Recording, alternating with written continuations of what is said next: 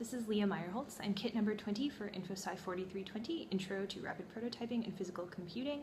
So this week's project was to use a stepper motor and infrared uh, rangefinder, so it'll sense how far away an object is, um, using infrared, uh, our Arduino FIO and processing.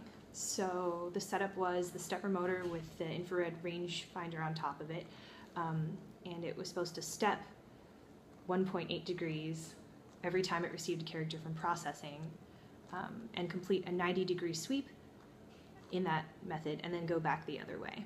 So 90 degrees this way, 90 degrees that way, um, sending data back to processing so that it could visualize the data. Um, so let me demo that for you. Okay, so if you take a look here, here are all the components.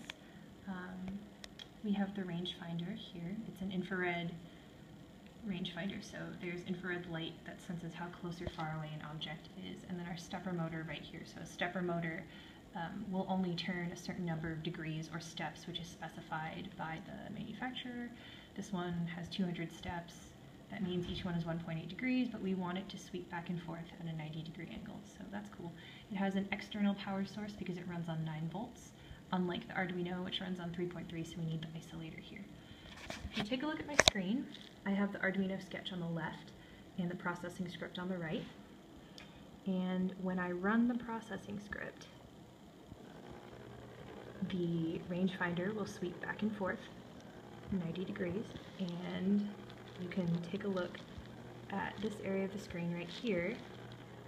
Uh, it's drawing how close or far away my hand is to, uh, to the rangefinder.